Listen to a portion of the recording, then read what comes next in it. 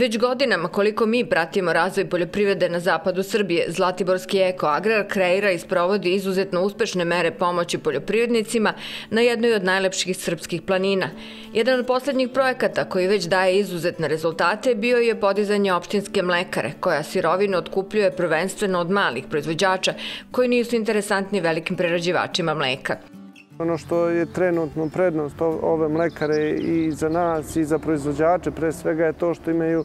u ovom periodu od nepune dve godine rada e, mlekare, imaju stalan otkup mleka i imaju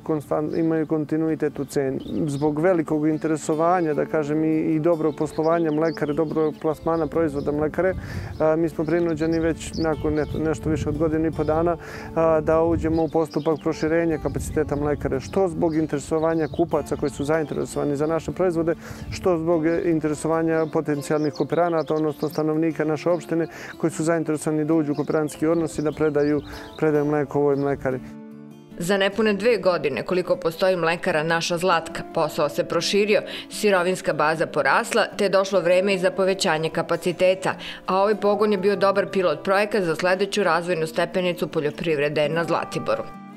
uz eh, dobru volju rukovodstva opštine i predsjednika opštine Čajetina, da kažem, došli smo i do neke zajedničke ideje da formiramo agroindustrijski centar na temeljima ove mlekare. Mi, dakle, pored mlekare koje postoji i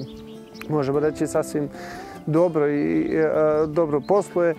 Imamo sušaru koja je također u povoju i onda na temeljima te dve proizvodnje želimo da proširimo, da kažem i mlekaru sa sadašnjeg kapaciteta od nekih oko dve tone proširimo na čak 20 tona i očekujemo da ćemo to uspeti da realizujemo u narednih par godina. Ove godine već proširujemo za još tri ovaj, tone, a nakon toga verujem da ćemo postepeno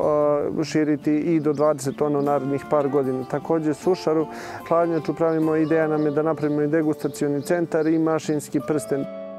Od novo osnovanog agroindustrijskog centra ovdašnji poljoprivrednici će imati mnogo koristi, a malo troškova, jer ova svojevrsna kooperativa nema nameru da ostvaruje profit, već samo da pokrije troškove poslovanja. Kada pričamo, na primjer, o sušari, U fokusu će naravno biti sušenje šljive kao dominantne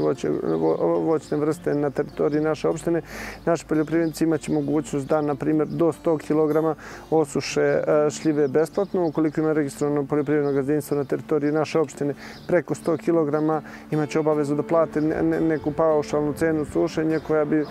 trebalo da pokrije samo troškove proizvodnje. E,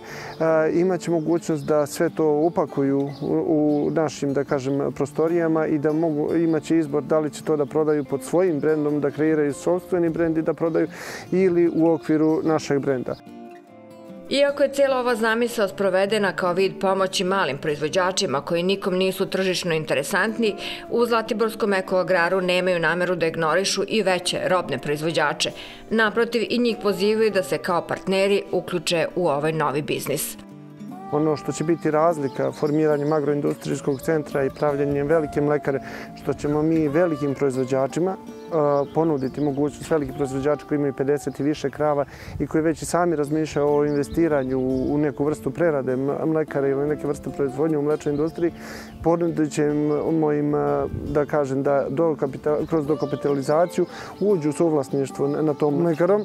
što ćemo olakšati svakako jer će imati e, sa jedne strane već formiran proizvod, formirano tržište, da kažem, cijelu zaokruženu priču mlekaru koja de facto postoji. Sa druge strane smanjuju rizik jer e, svakako svakako bi im bilo neisplativo da ulaze sami u taj proces, da, da pokušavaju da nađu radnike, da grade mlekaru, da investiraju.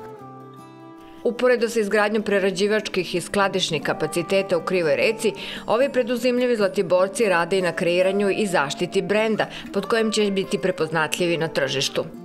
Ono što je kruna cele ove priče, to je postupak e,